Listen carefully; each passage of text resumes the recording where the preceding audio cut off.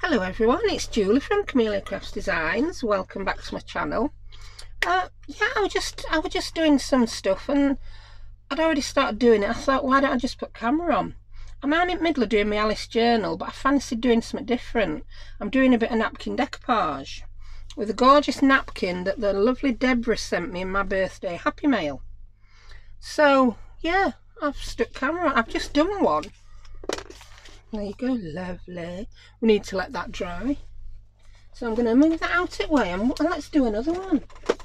I just, yeah, I get, I get in mode that I'm doing an Alice journal. That's what's occurring on YouTube, but I can do this as well. There's no law against it, is there? There's no one saying I can only do one project. I mean, I don't normally just do one project. I don't know what got into my brain. Anyhow, I've got some paper from the pad that Deborah got me as well. It's the die, I'll show it you, it's here on the floor. Well, it's lent up. It's the die cuts with a view one. It's called the Primrose Ensemble. And for a Primrose Ensemble, it's got a lot of roses in. Do you know what is a primrose? Do you know that's got me thinking, what on earth is a, is it a rose? oh, I can be so daft when it comes to flower names. I don't know, I'm going to have to Google a primrose. I thought primroses were tiny little flowers. But then there's a lot of big roses in this. Anyway, I'm going to shut up waffling and go on with what I'm doing. Yeah. Oh, speaking of roses, I had a lovely happy mail yesterday from, uh, yeah, the lovely Fiona who is Miss Paint a lot. And she sent me some gorgeous little rose charms yeah. She also sent two easter eggs for girls. So yeah and i got these. Oh, they are absolutely lovely. They're going to go so well with my rose junk journal. Let me show it you. Uh, i did uh, do an episode on unfinished projects and i yeah. Did we do the cover? I can't remember what we did in the episode but oh one of them is going to look lovely on the closure and perhaps a couple in the journal on tags. Yeah it's been a, it was a good day yesterday for happy mail. Uh, I'm now going on about happy mail I got some more happy mail from Tanya at Tatty Treasure. Ooh look at that. More of that gorgeous painter's paper that I can use for decoupaging. Got a beautiful tag with it. Well two tags. And I don't know what this pardon me, string is Tanya, but it's so lovely and soft. Uh, I've had some green garden twine before and it was too stiff. I didn't like it, but I really love that. So that will be getting used as well. So there we have it. Happy Mail City. Right, oh, yeah. Yeah, I also got those from Deborah. Two little canvas rose print bags. I'm going to keep one for me and I think one's going to have to go with that journal to put some bits and bobs in because it goes so well. Anyway, let's back to what we're doing before my brush dries out. Right, I'm doing some napkin decoupage. This is a sheet of music paper from the Die Cuts with a View pad. And this is the gorgeous napkin. It would have done a 12 by 12 sheet all in one, but that would have been just too much in one go. So what I've done is I've cut my 12 by 12 sheet down. I cut it across at 5 inches, so I was left with a piece that were 5 inches by 6, and then another piece that was 7 inches by 6. So that's, yeah, that were, that's 7 by 6, 12 inches by 5, and then 12 inches by 7 and then I cut it again giving me two pieces that were 6 by 5 and two pieces that were 6 by 7 I've already decoupaged one of the 6 by 7 pieces and I'm going to do the other one now I'm just going to cut this napkin down I can't do it that way because that's just back to front isn't it woman and I'm going to use the decoupage method that uh, I learned from Fiona again. Always miss paint a lot. It's, uh, yeah, made me want to decoupage again. And I never really had a good relationship with decoupage. I used to get an awful sticky mess and rip my napkin often. But this method that Fiona uses, I don't seem to rip my napkin. So I love it. I'm just getting a piece of this label backing paper, one that doesn't already have a label on, because I can use them again. Oh, wow, how many have already got a label on? I use these for my Etsy postage labels. So when I've got an odd number to print out, I'll end up with these with one label. They're supposed to go back downstairs to use. Right, so yeah, I'm going to use that. I don't like cleaning glue off things. I'd much rather just throw it away when I've done. So, that's the paper the right way. That's the napkin. Now what Fiona does is she uses matte medium. I think she does. I think this method will work with any sticky stuff anyway. Some roses have a way, I've no idea. I don't think there is a way. They're done in such a way that they can go either way. Anyway, whichever way. Any which way but loose. Is that film? Is it right turn Clyde or left turn Clyde? Well, yeah, I'll just shut up. If you know what I'm on about, you know. If you don't, just pretend I didn't say it. Anyway, I've got my Tim Holtz brushes because I like them. And I have my brush damp squirt it with a bit of water. In fact, you know what? I might use big one. No, I'm going to stick with medium one.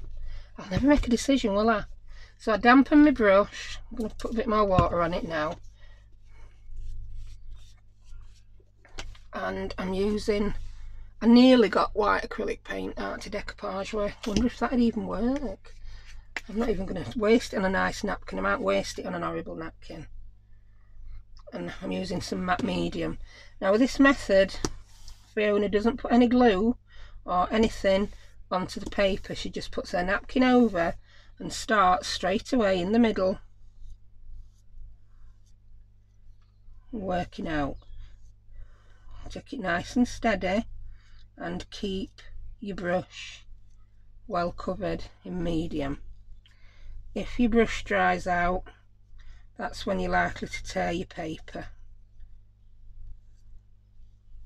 If you do tear it, it's not end of world.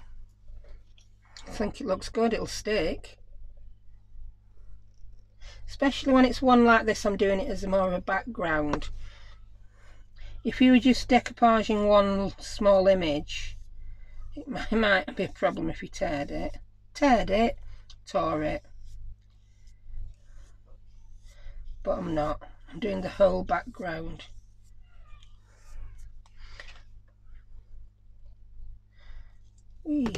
I do find this easier than using Mod Podge. I'm not a Mod Podge fan. I know other people are. It's just not for me. Horses for courses, as they say. Wouldn't do if we were all the same, would it? It'd be a very boring world.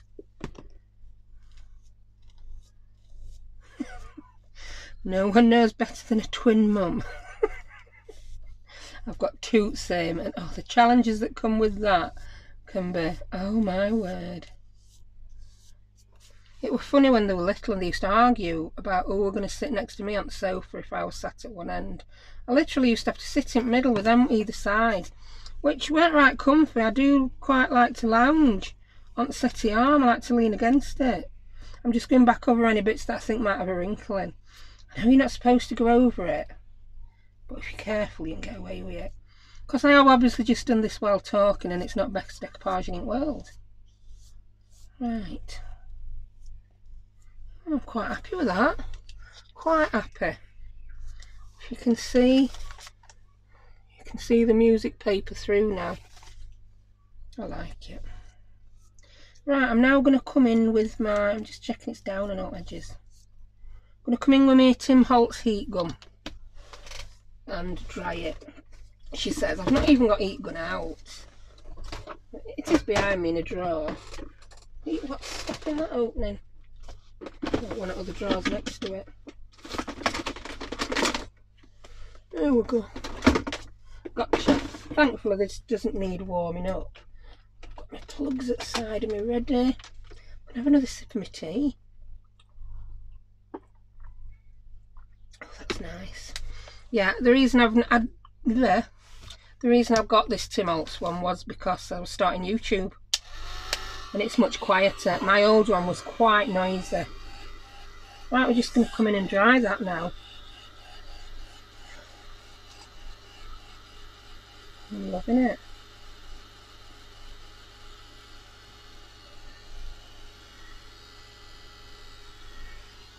I think mine's got a wrinkle there. Oh no, it's it's print. It's the rose's stem, not a wrinkle. Oh yes. Love the look of this. What I'm going to do with this then is cut it again down middle. And it'll give me two tags that are 3 inches by 7 inches. Lovely big full size tags. I'll probably put one in front and one at back at journal. Oh, have I put side pockets on that journal? I think I did. I'll, I'll put them on pages. Then I'm coming in touching it, see whether it's dried.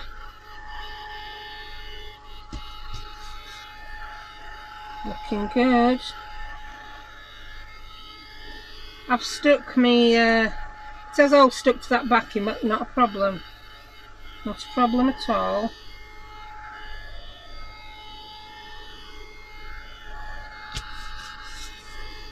That could nearly be dry now. Now, so yeah, my edges have stuck to backing, so here's what I do when that happens. Sometimes also it don't get dry enough in the middle. I'm Just going to grab my scissors. So it'd be better if I use little scissors with a point on one set. Yeah, that'll make my life much easier. There you go. And I'm going to tear from middle away. That'll stop me tearing any of the napkin off.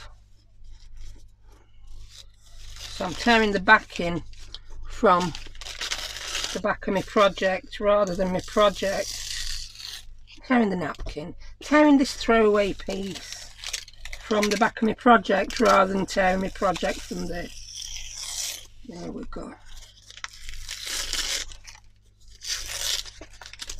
Hmm. if you prefer an non-stick mat, if you like washing mats, crack on. Personally don't like washing anything that doesn't need washing.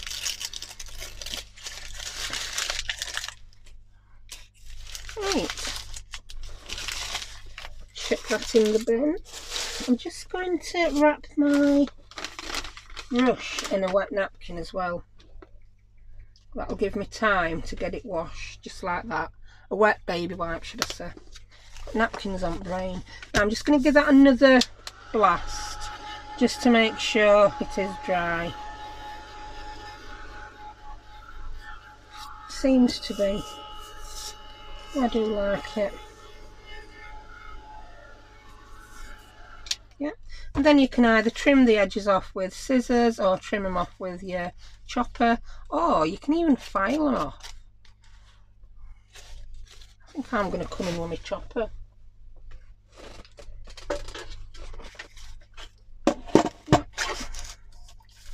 choppity chop oh that's come undone at bottom products are falling apart on me Tim what's occurring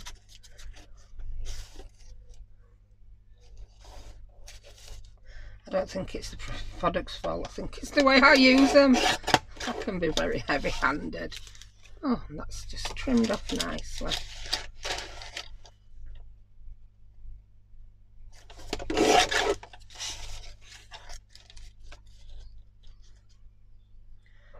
Prefer using a trimmer to scissors when I've got to do a straight line. Saves a lot of time for me. We're watching Tina at Shabby Doodah, Shabby Dabby Doodah. I keep missing the dabby out. I don't know what that's about.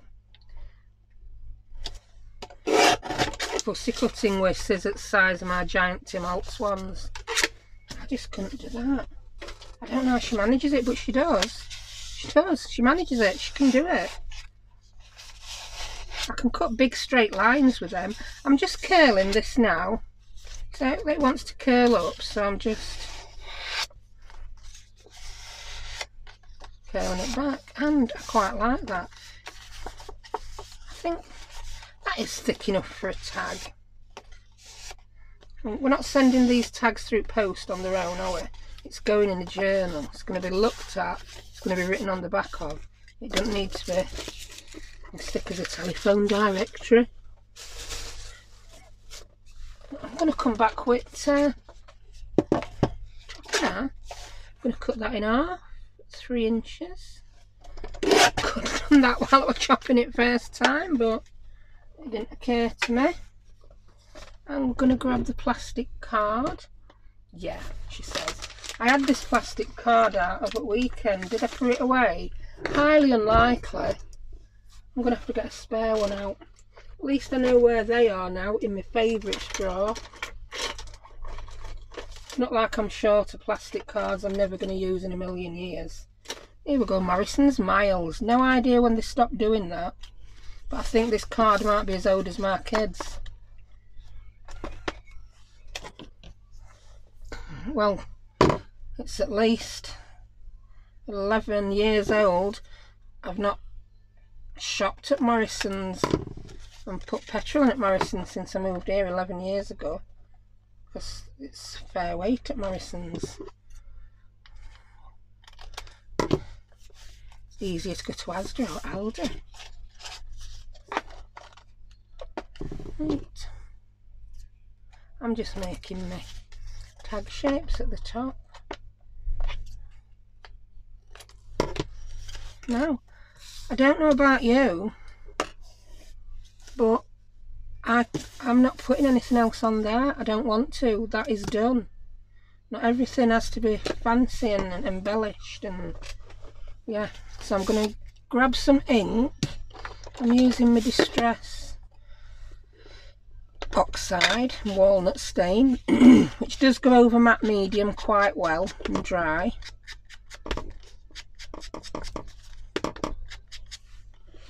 don't know why my scissors are rattling.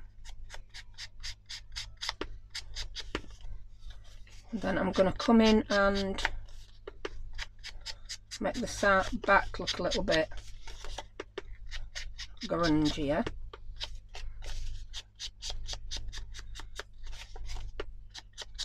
it is a bit stark white and I'm not too happy with it being stark white so most of you have probably seen me use these before. It's they are actually makeup brushes but they're so fabulous for inking. I know you've brought some new sponges out for your daubers Mr Holtz and they're domed so that you get fewer harsh edges when you're using them but you get even fewer with one of these.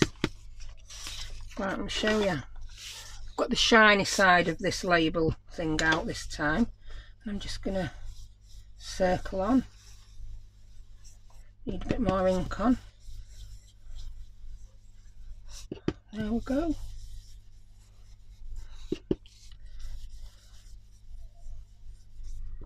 You can get a lot less ink on with these brushes.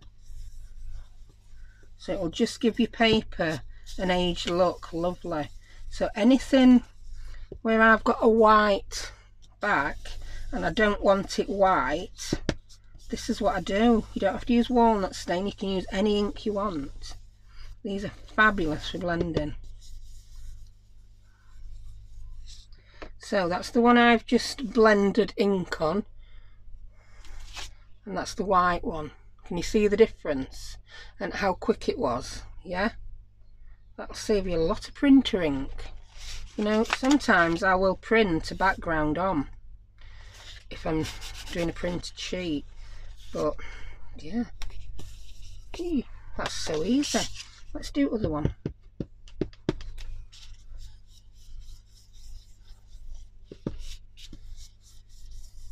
Gone quiet haven't I? but yeah I do this all over on all sorts. Anything that's too white gets this treatment.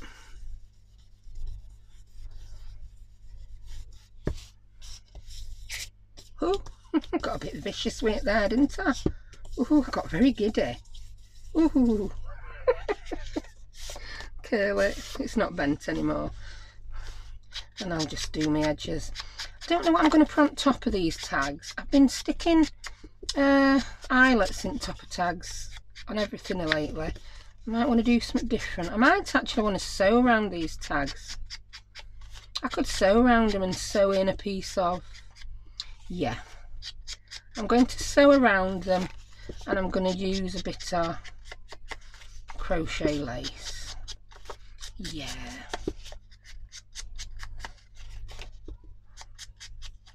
And I know this has been a very quick video, so do you know what I might do? I might go ahead and make a pocket in the journal to put them in.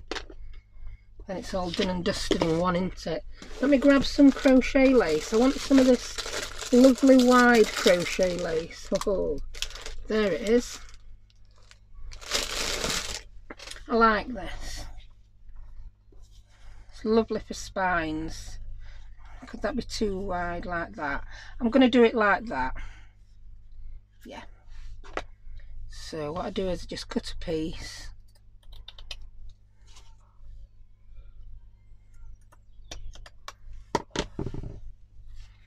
And then just pop it over like that.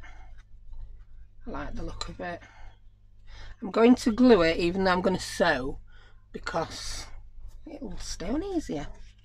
What shall I, I'm going to glue it with my miracle glue sticks. They're not miracles. They're just supposed to, um, yeah, they are supposed to glue fabric. And I'm looking for a new one because I did a very stupid thing.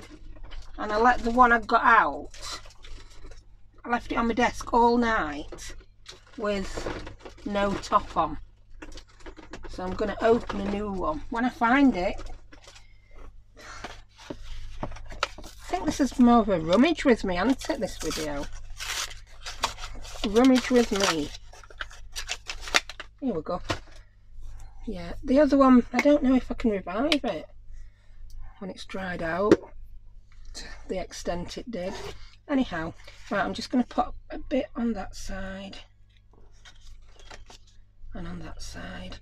I'm not bothered if it don't go exactly where I want it because it dries matte and you can't see it.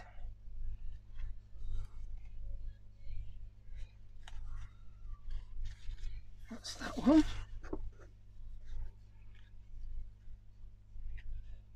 I think this also might need a charm sticking to it. It look special enough with just that on top? It looks special enough when there's another tag in front of it. Right. More on back. There we go. If you put enough on it will stick.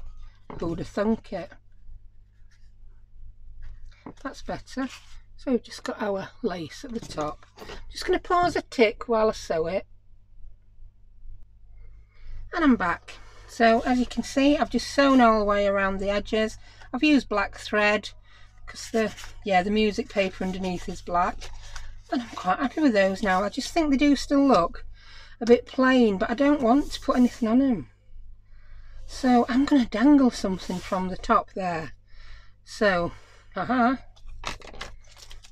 Ta-da. Roses. Let's have a look. Let's see whether these ones are right for this. Yeah, I think they are. They go lovely with it. Do I want the big ones? I think I want the big ones. Or do I want the little ones? I don't know. I don't know put one of each on, I suppose. I could if I wanted to. Anyway, I'm also going to make some little snippets to dangle them from. So I have here, haha, my big box of bits and bobs. It's got even bigger now because I do more clusters. It's, it is looking a bit messy at the moment. It needs a bit of a sort out because I get making and just grab from wherever. So what I want is think I want a piece of yeah I want a piece of linen muslin. I want a longer piece. Some of the ones I've cut that aren't going to be the right size for the clusters I sell in my shop. Where will I find one of those? Some of these are a bit small. I made them too tiny. So yeah. A piece each of that? I want some ribbon. Not that piece, it's not long enough. That looks better. That one could be longer. yeah those two will do. And I think I want a button as well. Do you know I might use buttons and not roses on these too. I think those roses would look so much better on the front of the journal.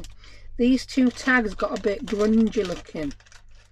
I'm going to grab a couple of these little buttons that say handmade with love.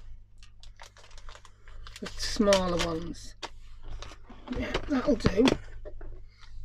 Might even use a bit of that. Could even use a bit of that. Could use a bit of Hessian. Yeah, let's grab some bits of Hessian as well. Just because we can.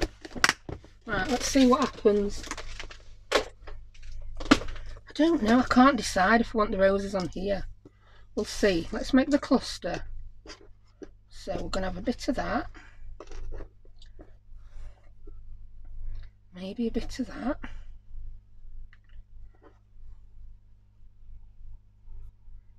I'm just going to hang this all on a bulb pin and dangle it from the top. I want that narrower. I don't want it square. Yes, managed to change that.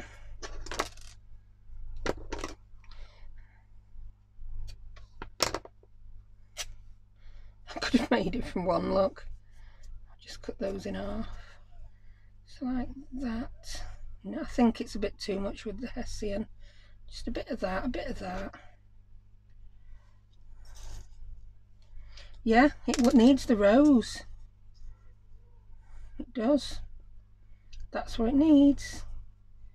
It needs a rose.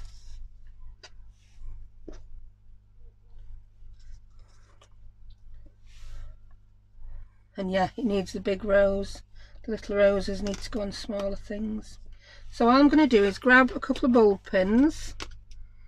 I'm going to grab,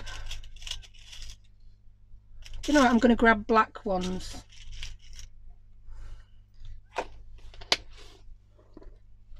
And I'm going to pop that through the charm, the other bits of fabric, and I'm then going to attach them to the top, just like that,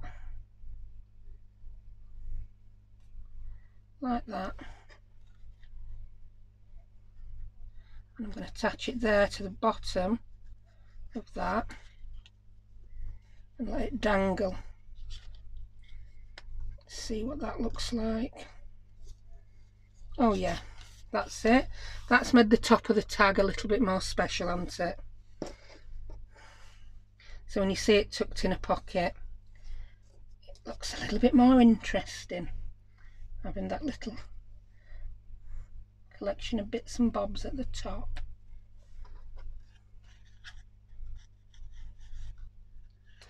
So there we go. I'm going to zoom in if I can do it. Look at me getting fancy. you can see them better. Ooh, there we go. So, thank you Fiona. They look absolutely lovely on there.